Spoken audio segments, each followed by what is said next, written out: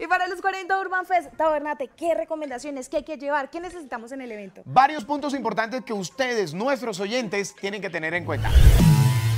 El primero, y es el más importante de todos, llevar el documento de identidad. Es muy importante que lo presenten porque nuestro evento es para mayores de edad.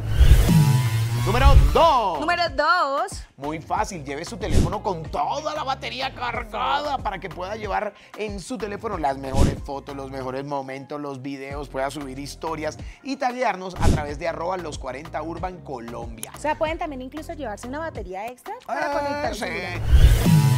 Número 3. Número 3. Aquí entre nos, no vayan a llevar elementos que no se pueden llevar a un concierto. Ustedes saben de qué les estamos hablando, pero Pero. aquí también le dejamos lo que usted no puede llevar.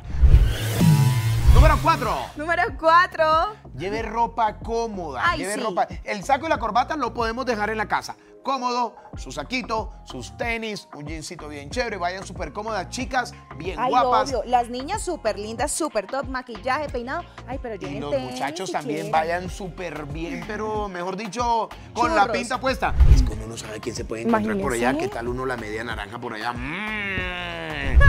Chicos, cosas muy importantes. Lleguen temprano. Uy, Tendremos la apertura de puertas luego del mediodía, así que llegue muy temprano, porque resulta que entre más temprano usted llegue, Mejor va se a ubica. poder ubicarse de la mejor manera y poder ver a los artistas como a ti te gusta, ahí, De cerquita. de cerquita. Muy fácil, nos vemos 30 de julio en el Coliseo Live para que disfrutes los, Los 40, 40 Urban Urban Fest. Fest.